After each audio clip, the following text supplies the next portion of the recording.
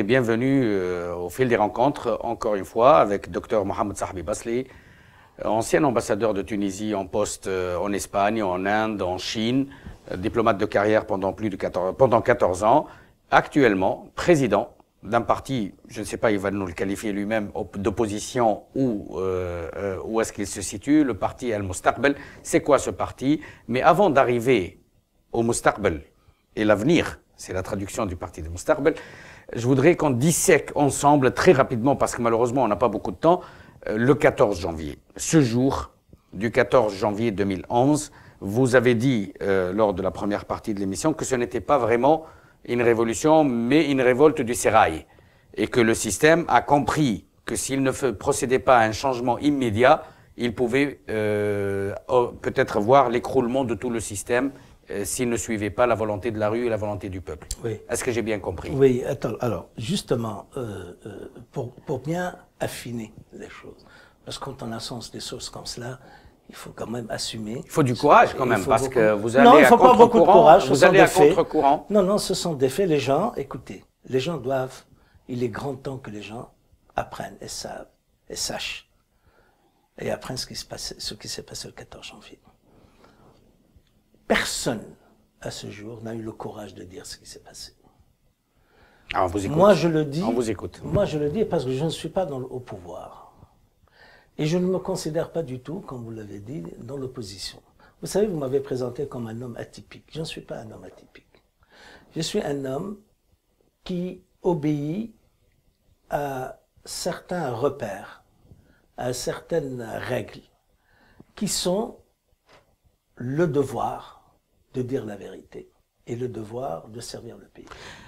Je n'ai pas. Est-ce que vous si cela fait de moi un atypique, alors je suis un atypique. Est-ce que vous vous considérez très rapidement plus comme un homme d'État, un commis euh, de l'État ou un homme politique?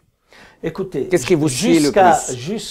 Jusqu'au 14 janvier 2011, j'étais le commis de l'État parce que je n'ai pas choisi parce qu'on m'a appelé. Parce que le système vous a choisi. Le système a choisi. Il m'a nommé dans des postes politiques et personne ne faisait de la politique. On était des technocrates et vous avez dit tout à l'heure, Ben Ali avait travaillé avec beaucoup de gens de la gauche, ou de sensibilité de gauche, et les meilleurs d'entre eux. D'où la complicité historique de la gauche avec le régime de Ben Ali, qu'on escamote aujourd'hui. C'est pas une complicité. Il a une, association, une association, une association, Mohamed a travaillé avec lui. Après, il s'en est pas. Oui, mais en connaissance de cause, il, il, savait avec, qui il travaillait. Euh, et d'autres personnes. Moi, moi, ce qui me gêne, si vous permettez, docteur Basli, c'est euh, euh, ce burnous d'honorabilité. avec, avec, lequel on veut se draper aujourd'hui, après le 14 janvier, beaucoup de responsables ah, vous de, la, de la gauche. Absolument, je parle de la gauche. Beaucoup de responsables de la gauche n'assument pas un passé avéré, celui d'avoir mis la main dans la main avec quelqu'un dont il savait parfaitement la nature et le parcours, quelqu'un qui était dans l'armée, qui était dans la sécurité, qui était dans l'intérieur, qui était un dictateur, qu'on le veuille ou non, et ils ont mis la main dans la main pour atteindre des objectifs idéologiques de la gauche. C'est peut-être noble, peut-être qu'ils n'ont pas regardé les moyens pour arriver à la fin, mais il faut l'assumer aujourd'hui. Donc la gauche, pour moi, et, c'est une question que je vous pose, a autant de responsabilités, la gauche tunisienne a autant de responsabilités dans ces 23 années de Ben Ali que Ben Ali lui-même. Que pensez-vous de cette euh, théorie? Alors, n'oubliez d'abord, dans la gauche, il y a énormément de militants, de vrais militants de la gauche, et la gauche a été créée avant même le parti du Destour. Le Parti communiste tunisien a été créé à bien avant. Donc c'est une tradition de militantisme. Ça c'est une réponse diplomatique. Non, c'est une tradition de militantisme. Moi, ce que je n'aime pas, non, non, je respecte cette gauche-là. Ce que je, ce que j'aime moins, c'est cette gauche extrême qui a pris, qui a pris un peu la scène médiatique en Tunisie que je refuse. Mais je veux vous dire, euh, euh, euh pour Ben Ali, il avait un choix il devait composer avec les islamistes, rappelez-vous, en 87. Oui. Tous les islamistes étaient condamnés à la mort, à la guillotine, condamnés à mort. Le 7 novembre, Ben Ali a fait une amnistie générale et tout le monde a échappé à cette sentence. Et peut-être certains ont la mémoire courte, mais on a vu Ranouchi sortir du palais de Carthage en disant il y a Dieu dans le ciel et Ben Ali sur, oui, oui, sur mais terre. Tout le monde, mais Donc- qui n'avait pas applaudi le 7 novembre à l'époque je, je pose la question. Y, y- y compris Mohamed Marzouk. On a sorti hier, Mohamed Marzouk, une page où il appelait à voter Ben Ali. Alors qu'il a fait un livre noir où il décriait tous les gens qui On va y arriver, on Ben va y Ali. arriver Non, non, rapidement, c'est pour oui. vous dire. Euh, ben Ali avait un choix. Où il compose avec les islamistes, et à partir du moment où les islamistes ont eu ce problème de 89 et cette confrontation. Avant 89, est-ce que Ben Ali était vraiment sincère dans sa décision de vouloir Je ne peux pas vous faire répondre. participer les Je islamistes au n'étais pouvoir pas dedans. Je pense qu'il. Non, mais vous étiez quand même actif. obligé. Non, à l'époque, non. Non, à titre personnel, vous étiez dans le syndicat, Non, vous que- étiez... Oui, oui. je pense qu'il avait besoin de cela. Il devait être dans le sens, puisqu'il a dit que, puisqu'ils ont signé avec lui le pacte Tout à fait. Et donc, il voulait les impliquer dans la, dans la dynamique politique à l'époque, à petite dose. Il pensait le faire à petite dose, et peut-être à l'époque, le, euh, le, le Tijal Islam, il ne le souhaitait pas. Il voulait partager parce qu'il pensait qu'ils étaient majoritaires quelque part. Majoritaires. Ou ils ont, ils ont, un- ils ont quand même 17% ou 18%. Hein. Ils estimaient avoir plus. Ils estimaient avoir plus. En fait, d'après, d'après les sondages que j'ai vus, c'était 17 ou 18% Bon, revenons à la. euh, lorsque la, la- la- la question islamiste a été tournée, ils sont revenus en prison. Où est-ce qu'ils devaient charger? Ils devaient récupérer la gauche. C'est tout à fait normal qu'ils récupèrent la gauche pour pouvoir aller de l'avant. Il ne peut pas rester, d'autant plus C'est que pas Ben Ali qui est en cause pour avoir récupéré la gauche, c'est la gauche qui est en cause pour avoir accepté de gouverner avec Non, non, un non, homme pareil. Elle ne pouvait pas faire autrement parce que la gauche te dit, bah, les gens qui ont travaillé de la gauche, ils voulaient, bah, alors à ce moment-là, vous me dites pour- pourquoi vous avez accepté euh, d'être nommé gouverneur ou Bah, tout à vice-président? fait, c'est une des questions, d'ailleurs. Non, là je ne peux pas. Je ne peux pas, je ne, je ne, non, je ne, je ne peux pas euh, répondre. euh, C'était un honneur pour moi d'être nommé gouverneur. C'était aussi un honneur pour moi de servir mon pays comme ambassadeur. Est-ce que c'était un honneur pour vous d'avoir été directeur de la police politique au ministère de l'Intérieur J'ai jamais été directeur de la police politique. C'est ce qu'on dit. Non, Alors vous étiez dire- directeur de Vous quoi savez, on a dit tellement de choses, tellement vous de êtes- mensonges. On a dit aussi que vous envoyez des Des conteneurs pour conteneurs de, de, de Trabelsi, Ah, oui. Ouais, mais ça, ça, ça c'est bon, mais ça c'est des choses.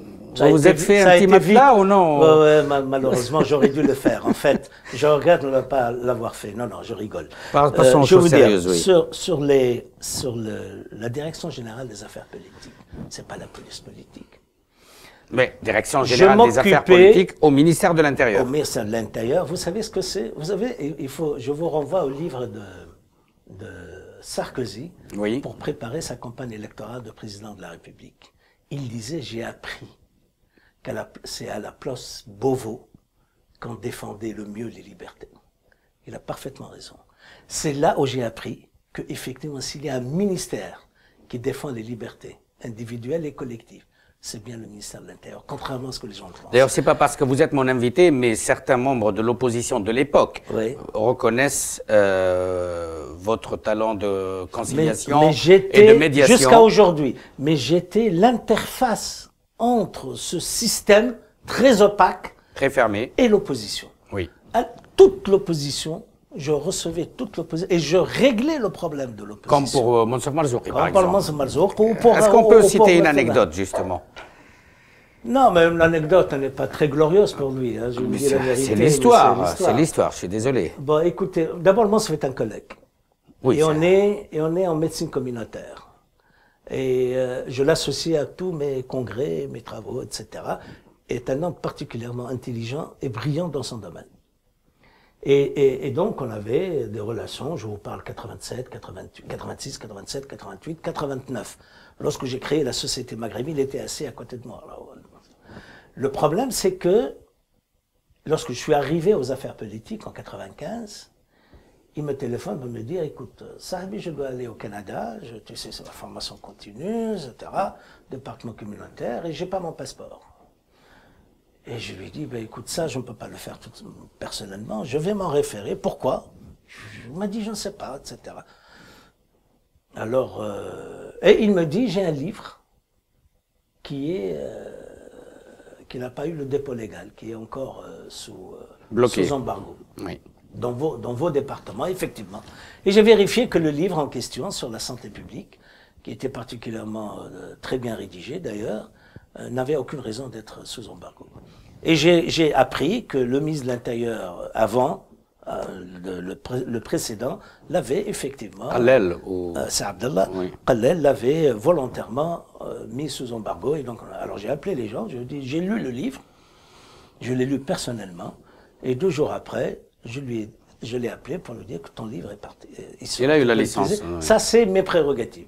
Pour le passeport, j'avais expliqué que des gens comme cela, il vaut mieux les avoir avec nous que contre nous, pour vous dire la vérité. Ce sont des intellectuels, ce sont des gens importants. Qu'on gagne rien à Qu'on gagne rien à les avoir. Bon, quoi, à quoi ça sert Et il a eu son passeport. Il est parti au Canada.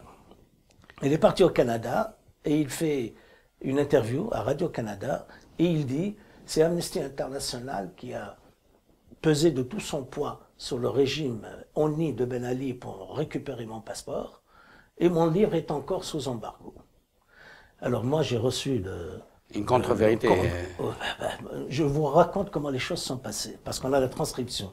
Et j'ai été, bien entendu, euh, ce geste-là a été très mal apprécié par le président à l'époque, et j'ai encore le connotation. Parce que ça veut dire que vous avez euh, sous-évalué. Moi, je l'ai, je l'ai, je, je, l'ai cautionné. Cautionné, C'est quand j'ai cautionné ce monsieur, et, et, et j'ai encore l'écriture.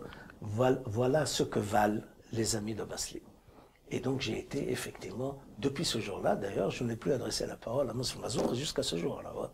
Donc on s'était plus contacté, on s'était plus euh, essayé de se contacter. Bon, je lui en veux pas, c'est son peut-être c'est son combat, il est comme cela. Donc c'est une personnalité assez particulière et il considère que euh, alors qu'il a obtenu son passeport en fait des mains du régime de Ben Ali. Voilà. Donc il peut pas dire non pas c'est Amnesty International ou X ou Y qui, qui, qui ont forcé le régime. Et ça, ça met très très très, très mal. Mais ça le mettait en valeur aussi, que ça soit Amnesty. Mais il, il peut dire ce qu'il veut. Oui. La réalité est autre. Et on est là. on est. Malheureusement, c'est très passionnant de discuter avec vous parce que vous êtes un, un des acteurs de l'histoire de la Tunisie récente. Donc, euh, vous, avez beaucoup, de choses à dire. Oui, non, mais euh, c'est un fait. Euh, ce que je voulais, c'est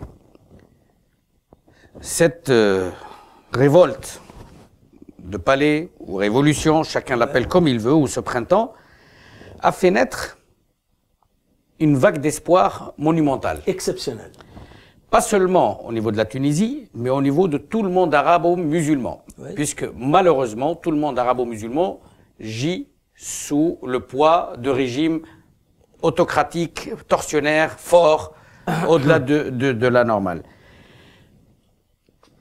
On constate bientôt trois ans, dans un mois ce sera trois ans, que finalement peu d'objectifs ou peu d'espoir ou peu d'attentes ont été euh, remplies, assouvies, atteintes.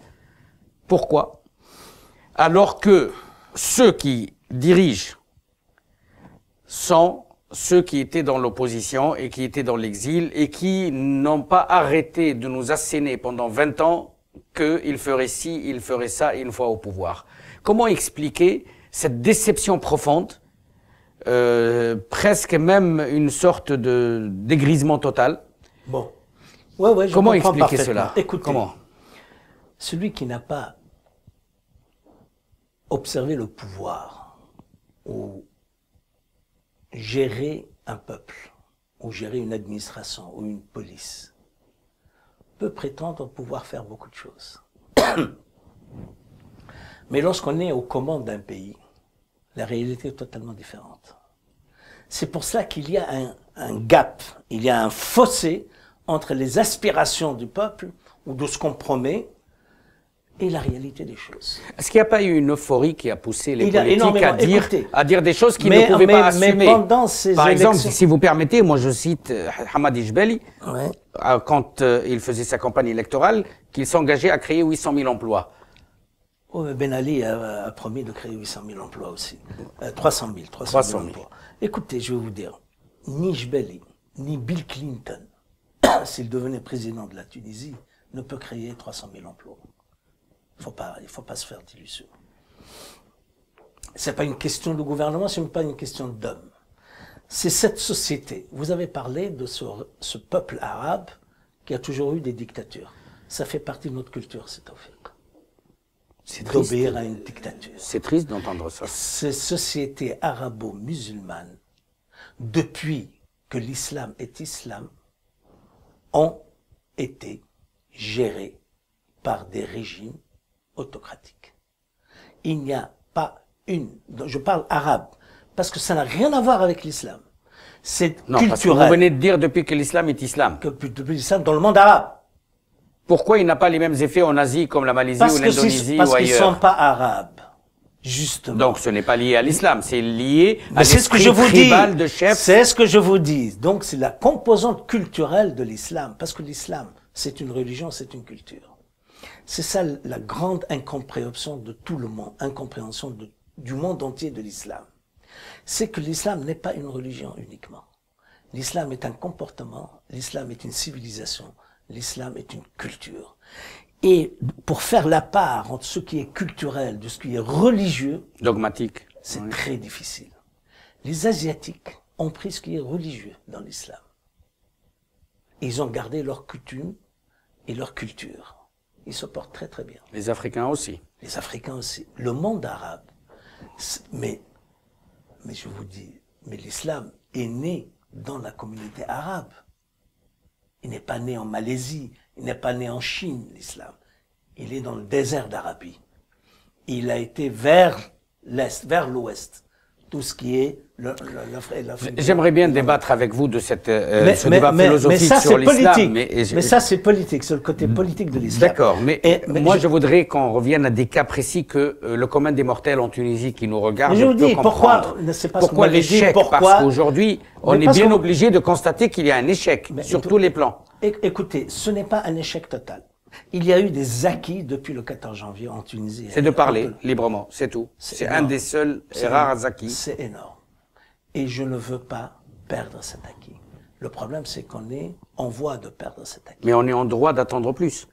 Mais bien sûr, mais du temps de Ben Ali. Est-ce qu'il y a des hommes mais politiques du temps de Ben Ali, on attendait plus. On disait on pouvait mieux faire. Est-ce, est-ce que Moi, je pensais que le peuple tunisien était à même d'être un peuple démocrate du temps de Ben Ali. J'étais contre docteur, le fait de Docteur est-ce que cette désillusion du peuple n'est pas en fait le fruit de la mauvaise évaluation des politiques, de leur capacité à réaliser quelque chose? Non. Non. Parce qu'ils ont promis plus qu'ils ne peuvent promettre, euh, ne peuvent réaliser. Ça, c'est l'erreur, je vous ai dit, j'ai pas terminé, c'est l'erreur de cette campagne électorale inutile pour créer l'Assemblée constituante. Vous savez très bien que j'étais contre l'Assemblée constituante. Ça, c'est une erreur. C'est un piège. C'est un piège. On était tombé dedans, et j'avoue que c'est la gauche qui nous a entrés. Bien évidemment. C'est pas le NAS. Et ça, je le dis, je sais de quoi je parle. C'est la gauche qui nous a amenés. Pourquoi Parce que la gauche pensait pouvoir barrer la route. Mais bien sûr. À un Nahda et aux pensait pouvoir, elle, faire. Euh, elle pensait que le peuple tunisien était comme elle. À qui? Était comme elle, réfléchissait comme elle, s'était trompée. Bon, le problème, maintenant je reviens, c'est toute cette campagne électorale, etc., ces, promesses électorales ne peuvent pas tenir. Mais je reviens à, à la philosophie de la chose. Ce qui s'est passé le 14 janvier, est énorme. Vous m'avez dit le droit de parler. Vous savez que le peuple tunisien a sacrifié ses droits individuels pendant 60 ans pour pouvoir manger, pour pouvoir dormir en sécurité, pour pouvoir aller à l'école, pour se soigner, pour trouver un travail, se marier, construire sa maison. Voici le Tunisien. Il n'y a pas autre chose. Il n'y a rien d'autre. Le, le Tunisien ne fait rien d'autre que cela. C'est ça son itinéraire, jusqu'à la mort.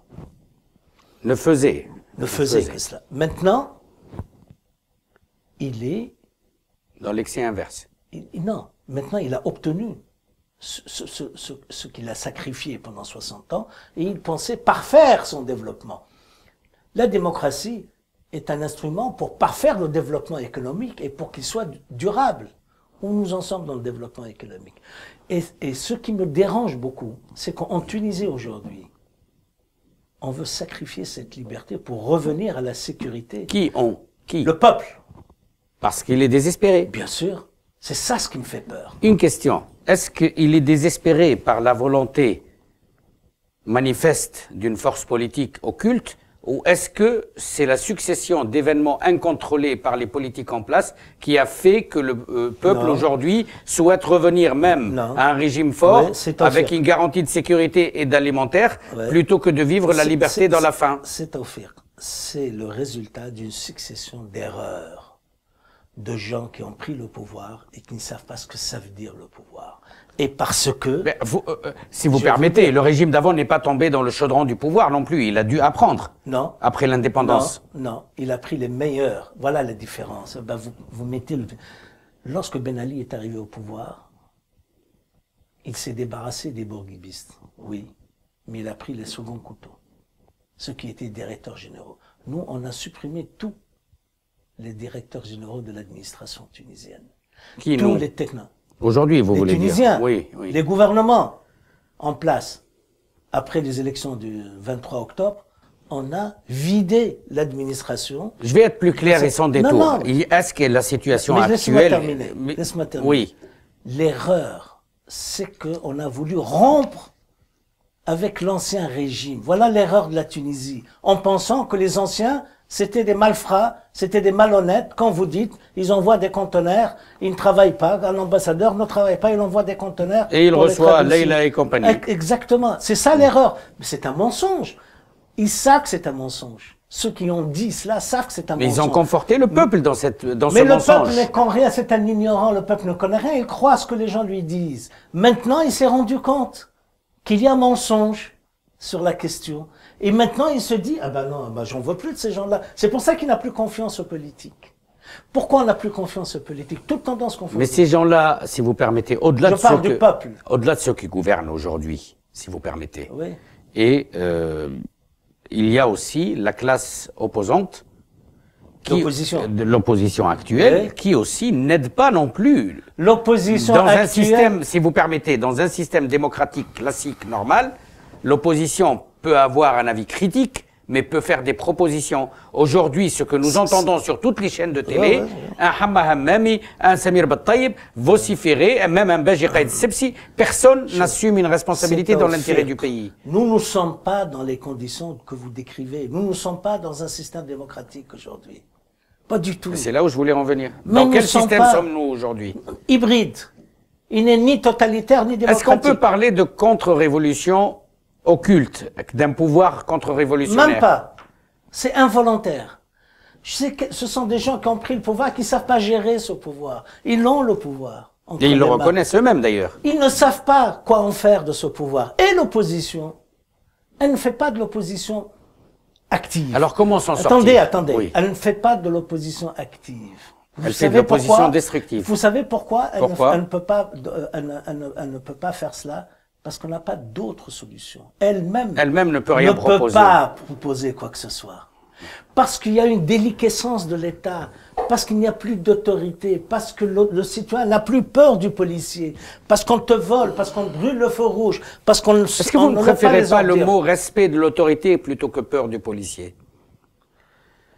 Je préfère dire peur du policier. Au moins, il va faire quelque chose. Il n'y a plus. Et c'est en cela que vous êtes atypique. Oui, c'est pour cela. Parce qu'un autre homme politique ne dirait pas ça, il, dirait, il dira bien sûr respect de l'autorité. Non, non, non, non, non, je vais vous dire, c'est comme cela qu'on peut respecter l'autorité. Parce que si on sanctionne pas, vous savez, qu'est-ce qui a ruiné le système de Ben Ali? C'est l'excès. Je vais vous étonner, mhm. c'est sa gentillesse. Il voulait plaire à tout le monde. Qui, Ben Ali ouais. Sauf aux islamistes dans ce cas. Les islamistes, c'est un dossier terminé. Les islamistes américains lui ont dit on est avec toi. Les Européens lui ont dit on est avec toi. De quoi vous parlez, c'est ouvert Arrêtez de rabâcher les islamistes. Les islamistes, il y a dix ans, n'existaient pas. On devait les, ex, les, les éradiquer. Les éradiquer de C'était le terme utilisé. Oui. Mais bien sûr, ne parlez pas, ne parlez plus des islamistes. Les islamistes n'ont jamais dit qu'ils ont fait une révolution. Aujourd'hui, aujourd'hui, parce qu'on est pris par le temps. Comment nous avons une opposition On n'a pas de baguette qui ne cherche qu'à arriver au pouvoir. Donc c'est biaisé. Pour faire quoi Pour faire quoi Après, on verra. Ah. C'est pour cela que lorsqu'on leur pose, on leur donne une alternative au peuple. Ah, non, non, on arrive d'abord et on parle ensuite. Ok, alors rapidement, rapidement. Là qu'on a fait une analyse de la situation, qui est d'ailleurs totalement, euh, je pense que c'est la première fois que j'entends un tel discours. Euh, qui d'ailleurs euh, dénote totalement de ce qu'on entend dans le concert des politiciens Mais tunisiens. parce qu'ils sont politiques, ils disent la vérité, la moitié de la vérité, vous m'avez poussé Et à dire- ont- et à qu'ils- dire les et- et choses. qu'ils ont Moi, je des n'ai pas ambitions. d'ambition politique. Voilà, c'est ce que j'allais Moi, je vous me suis poser. débarrassé. Moi, je ne veux pas être président de la République et je ne veux pas être Premier ministre. Vous voulez quoi alors? Je veux servir la Tunisie. Vous savez ce que je suis en train de faire? Oui. Essayer d'expliquer les uns aux autres qu'ils ont tort tous les deux et qu'ils doivent De travailler rapprocher ensemble. les points de vue. Absolument. C'est tout ce que je. C'est ça donc la solution aujourd'hui pour Ah la Tunisie oui, il n'y a pas d'autre solution. Alors, c'est comment vous voyez ce rapprochement? Parce qu'en Tunisie, comme vous le voyez, machallah, il y a une profusion de partis. C'est comme quelqu'un qui avait faim et qui trouve un plat devant lui et qui tombe euh, pieds, Boulimique. points, euh, boulimique. Ouais. Donc, euh, on a une profusion de partis. Qui voulez-vous assembler? Qui vous Alors, voulez aussi- rassembler, si vous permettez? Déjà, déjà, ils arrivent même pas à nommer un chef de gouvernement. Comment voulez-vous rassembler? Ben écoutez, c'est une honte. Nous sommes dans une situation qui est honteuse. Euh, je vais vous dire très sincèrement, si j'étais nada, je ne rentrais pas dans ce dialogue national. J'ai le pouvoir, je l'assume, et ce sont les urnes qui me feront dégager du pouvoir. C'est ça ce que dit la démocratie. Si on veut. Pourtant, on Mais- leur dit qu'ils ont perdu toute mais on leur légitimité. dit, non, non, non, non. La légitimité des urnes, ils savent qu'ils ont la légitimité des urnes. Non, je- Écoutez, si on veut évoluer dans un champ démocratique, c'est comme ça qu'on doit parler. Pourtant, la commission de Attendez, Riyad attendez, Achour qui a attendez. préparé les élections n'avait aucune légitimité. Bravo, s'il y a des gens à, à- à- à juger un autre jour, un prince Riyad Ben Achour, c'est Mohamed. Non, non, pas, c'est juger, pas juger. Je Non, pose non, une à question. juger, à juger, à non, non, juger, non, parce que ce sont des gens qui nous ont menés à cette histoire-là, qui n'est pas du tout. euh, non, non, et je sais de quoi je parle. Non, je veux vous dire une chose. J'ai dit si j'étais là, mais on a, on a, mais entre temps, il y a l'intérêt général du pays. L'intérêt Parce que le pays, vous êtes d'accord avec moi, qui va, euh, il va dans à- le mur. Dans le mur. On va dans le mur, c'est le fossé. C'est très grave. Économiquement, c'est Oui. très grave, etc. Et c'est à ce moment-là qu'on a forcé Nada à composer avec les forces d'opposition. Et il y a une force en face d'elle, c'est Beji Qaïd Sibsi. Je dis Beji Qaïd Sibsi. Les gens me disent, pourquoi vous dites Parce que pour moi, c'est- c'est une opposition. Derrière lui, il y a beaucoup de gens. C'est un patchwork, en fait. Il y a beaucoup de gens, je ne les connais pas. Moi, je connais Sibsi, c'est l'homme que le peuple, en qui le peuple a confiance. C'est très important. Est-ce qu'il a raison de temps en temps faire attention au peuple. C'est une démocratie. docteur Basli. Oui. Docteur Basli. On n'est pas une démocratie, vous venez de le dire il y a non, deux non, minutes. non, si vous voulez. Par contre, je voudrais une non, non, question. J'ai dit, on évolue, si vous On voulez évolue évoluer vers la dans le champ, Tout à dans- fait. sur le champ démocratique. Est-ce que le peuple a raison de faire confiance à Beji Qaïd Sebsi Très sincèrement et honnêtement. Il faut le demander au peuple. Il ne faut pas le demander. Là, vous êtes vraiment diplomate. Non, non, il faut le demander au peuple. Il ne faut pas me le demander à moi. C'est vrai Sebsi, est-ce qu'il a 88 une responsabilité dans l'année de transition où il était Premier ministre? Oui. Est-ce que euh, euh, sa targue- responsabilité il se targue d'avoir amené le pays vers des, vers une, des élections euh, propres et démocratiques. Il se targue d'avoir fait ça. Mais vous, vous, votre opinion sur si Sur vous ces élections devez évaluer sa période de transition Ces élections. Non, pas les élections, Ah. son rôle en tant que Premier ministre de transition. Il a fait un Comment vous l'évaluez? Excellent travail. Excellent travail. Est-ce qu'il n'a pas miné pour les pouvoirs à venir par des nominations, par des placements, comme Non. on le dit, l'appareil de l'État Je vous assure que non. Est-ce qu'il n'a pas, est-ce qu'il n'a pas privé la justice transitionnelle de certains dossiers Euh, il se targue d'avoir, vous savez, les, les barons de l'ancien régime, on veut la mort à Sebsi, c'est parce qu'il les a foutus en prison. C'est quand même pas Nada qui a foutu euh, Non. les anciens de Ben Ali en prison. C'est Ça se serait su d'ailleurs. Bon, bon Voilà. c'est. Donc, il ne peut pas, au contraire, c'est une des erreurs de Sebsi, d'ailleurs, parce qu'il a joué le jeu de la révolution. Et comment Il expliquer a joué le alors jeu de qu'aujourd'hui, l'anti- comment, l'anti-système systématique? comment expliquer que malgré ce jeu contradictoire, il soit entre guillemets euh, le personnage de l'opposition face à Raj Mais- mais Je vous réponds. Oui. Parce qu'il a rappelé Bourguiba. Bourguiba est le père de la nation. D'ailleurs, il a Les poussé. Tunisiens sont sevrés. Et- Ils, ont, ils, sont, il a- ils il a- attendent, les Tunisiens attendent un homme qui sache leur parler. D'ailleurs, un, un leader. Un homme qui sache leur parler. D'ailleurs, Berger a poussé la tout. comparaison jusqu'aux lunettes et jusqu'à la coiffure. Je, écoutez, À la le- caricature. Le Tunisien, il y a, je ne sais pas a Alain Perfit, je ne sais pas si Alain Perfit ou, ou Jean Lacouture qui a dit la Tunisie s'est toujours prostituée pour un seul homme. Vous savez, c'est écrit. C'est grave. Ouais, ouais. Oui. C'est pour ça, ça c'était Bourguiba. Et après, c'était Ben Ali. Et puis, il y Euh, aura. s'il vous plaît, euh, Si on continue comme ça, on va avoir un troisième. S'il vous plaît, docteur Basli, là, je vais vous bombarder avec une série de questions et je veux des réponses très courtes. Euh, quelle est la solution pour vous aujourd'hui que vous pourrez proposer aux forces politiques? Parce que si je vous ai bien lu dans vos différentes interviews, on revient à ce que vous avez déclaré aujourd'hui, à savoir un conseil qui dirigerait la Tunisie pendant une, période c'est- transitionnelle. C'est une idée qui n'est pas nouvelle. C'est une idée ancienne, qui date de sept mois. Et d'ailleurs, Et qui, est de- qui est de vous. Je- Mais on vous a pas- de j'aime fausse modestie, pas de non, non, fausse pas. modestie. Écoutez, ça a été, ça a été discuté, ça a été approuvé. Raj Ranouchi, on a parlé publiquement. Mhm. Euh, après, on a pensé que c'était pas la. Maintenant, Sepsi Maintenant. s'est l'est approprié sur Nesma TV il y a trois jours. c'est- Il dit que c'est euh, Shitsfan qui en a parlé. On revient à cela. Écoutez, peu importe la manière, ce qu'il faut, c'est le, le compromis nécessaire pour la Tunisie. Et ce qu'il faut, c'est une véritable réconciliation de la Tunisie avec son Si les histoire. Tunisiens doivent avoir conscience d'une chose, c'est quoi? De quoi doivent-ils avoir conscience Que aujourd'hui la Tunisie a besoin de tous les Tunisiens. Comment arriver à ce que la Tunisie ait besoin de tous les Tunisiens? En un mot, pardon, obliger, pardon. Comment, obliger ces forces politiques comment à arriver à- ensemble. comment par la force, Pardon. Comment arriver à se réconcilier? Parce qu'il faut opérer une réconciliation. S'il n'y a pas un débat, un dialogue national. Ben, il faut un dialogue. Moi, j'ai préconisé un Ils Moi- n'ont pas un dialogue des oui, quartets. d'accord. Ils n'ont pas Ce un dialogue que je de veux, c'est une véritable conférence nationale pour les trois années à venir. À l'instar de la l'ANC et, de l'Afri- et du pouvoir de l'apartheid, comme ça s'est fait en Afrique du Vous Sud. savez, les Africains ont réussi mieux que nous leur transition démocratique. Hassan II a fait la même chose. Ils ont fait une condition nationale. Vous savez, nous, notre problème, c'est qu'on continue à gesticuler à l'intérieur de l'Assemblée constituante.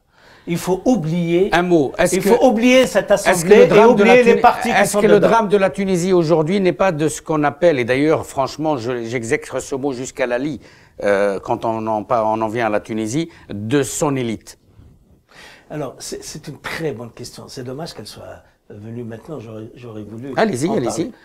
Vous savez, le problème de la Tunisie, c'est son élite. Et l'élite, il faut, il faut faire confiance à l'élite tunisienne. Vous savez, je vais vous dire, individuellement, nous sommes exceptionnels, les Tunisiens. Collectivement Donc, collectivement, on est nuls. Et le problème, c'est que effectivement, nous avons une. Vous savez, Bourguiba a fait de l'école tunisienne une référence. Vous savez, je suis de l'école de Bourguiba. Nous étions les premiers dans les classes françaises. Alors, on n'était pas les meilleurs. Tu étais le meilleur. Moi, j'étais parmi les meilleurs dans les rangs, dans les bancs de l'université française. Où sont les Tunisiens aujourd'hui? Cette intelligentsia, cette euh, classe moyenne, cette bourgeoisie intellectuelle, malheureusement pour nous, qui est exceptionnelle par ailleurs, et n'est pas, n'est pas, n'est pas unifiée. Est-ce que, le- est-ce que, est-ce n'est pas que, unifié. est-ce que la- euh, cette élite politique ou intellectuelle tunisienne, C'est elle qui à titre individuel, n'est pas à l'image de son président provisoire avec un égo Non, non, non, surdimensionné? non, non, non, vous, vous lui prêtez beaucoup de choses. Laissez-le tranquille, cet homme. Il est, il est venu provisoirement. Il va. A-t-il eu raison a de a- très rapidement a-t-il eu raison de publier son livre noir de la propagande de Ben Ali? Et pourquoi non? non. Pourquoi non? Bien sûr que non. Parce qu'il n'a pas inventé ce qui est écrit, c'est ce qui est dans les dossiers ce de qu'il Ben a Ali. écrit est peut-être vrai. Euh, D'ailleurs, ça prouve, encore une fois, que toutes les classes politiques et les journalistes Ça prouve ce que vous avez dit, que tout le monde était tout mouillé le monde en était gros. complètement Mouillé. Vous savez, quand j'ai dit, j'ai dit une fois une chose, c'est que la classe politique aujourd'hui fais- était faisait partie du problème et non de la solution. Je vais vous dire pourquoi. Lorsque je dis ces gens ont composé avec l'ancien régime, ça ne veut pas dire qu'ils ont dit oui, qu'ils ont qu'ils ont mis des, qu'ils ont fait des trucs, avec, même s'ils sont dans l'opposition. Vous savez, je vais vous dire, je termine avec cela. Cheikh Raj Non, non, vous terminez lorsque pas. j'ai- Oui. Lorsque, Cheikh Raj- lorsque j'ai vu Cheikh Raj Ranouchi pour la première fois, il y a deux ans, Oui. il m'a impressionné. Je vous dis la vérité.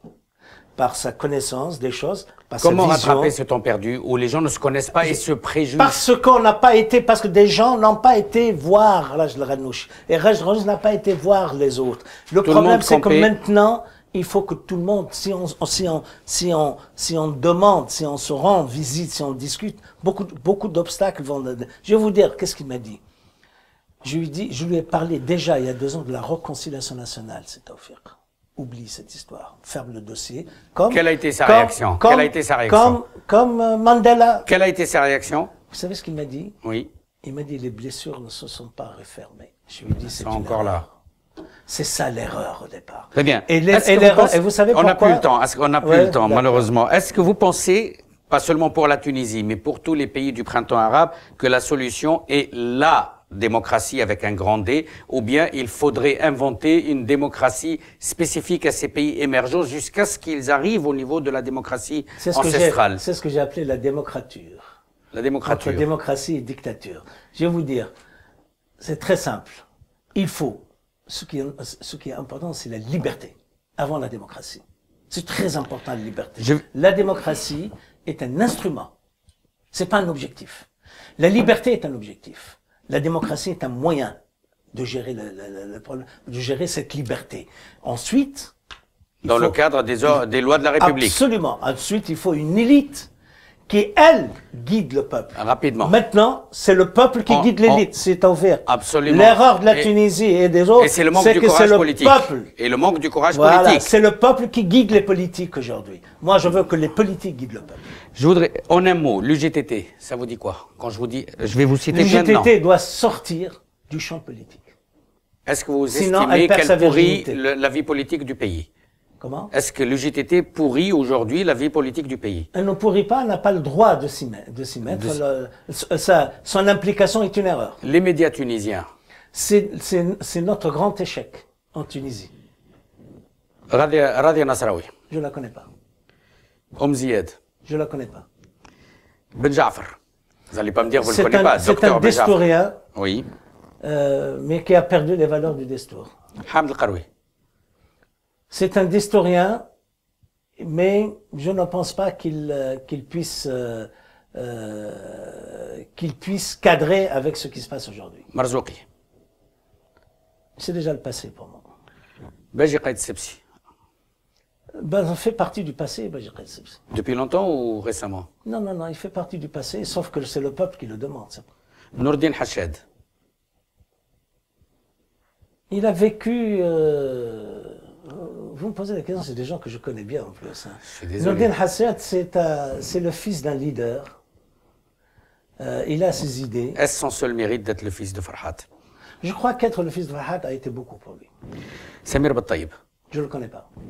Comment ça? Vous êtes un fin observateur de la vie politique tunisienne. Je ne le connais pas. Vous, vous, vous avez vu dans des débats. Comment... Il m'a jamais adresser la parole, je ne lui ai jamais adressé la parole. Mais si on devait juger que ceux à qui on adresse la parole... Mais, je ne peux pas juger les gens sur un plateau de télévision. Je vous donne pas juger votre opinion, c'est pas un jugement. sur les plateaux de télévision mentent. Comme ils respectent. C'est un homme que j'ai appris à connaître. Il, il, il, il, il s'intéresse à la démocratie. Il est sincère dans son opinion, contrairement à ce que les gens pensent. Hama Hamami. C'est un anarchiste. Ça résume tout. Il a besoin de l'anarchie pour exister. Il ne peut pas être au pouvoir, Il sera toujours dans l'opposition. Abdin Ben Ali. C'est un homme qui a été loyal jusqu'à une certaine mesure. C'est un homme d'État, mais qui a mal tourné. Vous n'avez pas d'autres critiques, parce que j'ai cru lire dans un journal euh, récemment, vous avez dit, je ne suis pas du genre qui mord la main qui m'a été tendue. Ah, non, je ne Donc vous, vous, vous, vous, maintenez cela Non, je maintiens, absolument. Un dernier mot pour le peuple. A-t-on toutes les raisons d'être inquiet sérieusement ou bien y a-t-il une lueur d'espoir? C'est ma dernière euh, question. A, on a, on a, on a, euh, je suis très inquiet. Je suis très inquiet.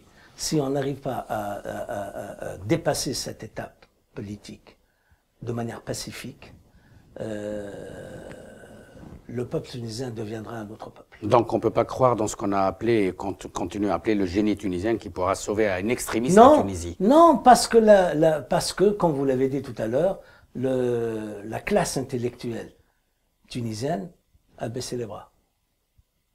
Et on a peur. Nous avons des échéances électorales. Les gens se positionnent par rapport aux échéances Donc ce sont des intérêts partisans étroit. Absolument. Merci, ce sera le dernier mot de ce fil de rencontre avec euh, son Excellence l'ambassadeur Mohamed Sahab El-Basli, président du parti Al-Mustaqbal. Malheureusement, on n'a pas pu parler de ce parti, ce sera peut-être à l'occasion d'une prochaine émission. Merci, docteur Basli, et à très bientôt. Merci, Steph. Merci.